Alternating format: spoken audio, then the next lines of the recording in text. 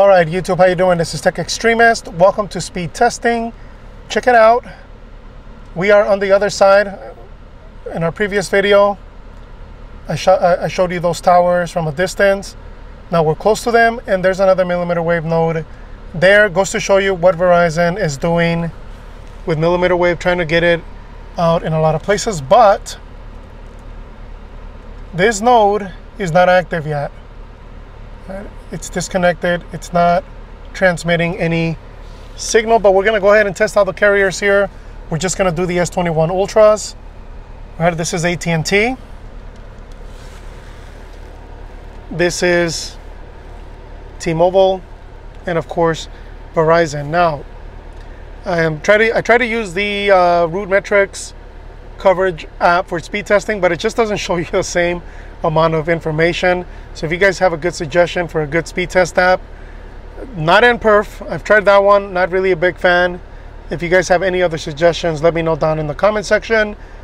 But for right now, we're gonna have to deal with the Ookla restart the app issue, which is really annoying, Ookla, if you're hearing me. I'm gonna keep repeating it until you fix it. All right, but this is AT&T at 68.7 down, 19.4 up, 42 millisecond ping, 28 millisecond jitter. Then we have T-Mobile at 552 down, 93.4 up, 29 millisecond ping, and 20 millisecond jitter. And then we have Verizon at 72.9 down, 7.47 up, with a 24 millisecond ping and 20 and 10 millisecond jitter. Now let's go ahead and see what Verizon is running. They do have that band 15, or excuse me, band 66, 15 megahertz AWS. Then they have band 2, 5 megahertz, band 5 10 megahertz and 10 megahertz of band 66 so that's their setup here. And then T-Mobile band 66 20 megahertz and 41 100 megahertz and band 2 15 megahertz. All right and then AT&T of course last but not least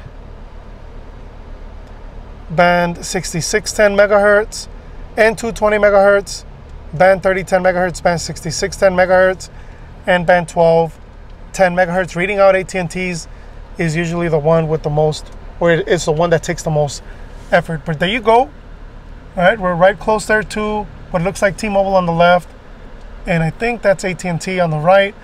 And we do have that small cell that has not been activated. But I really appreciate y'all watching. Hit like, subscribe, comment. Make sure you hit that ring notification bell. You all have a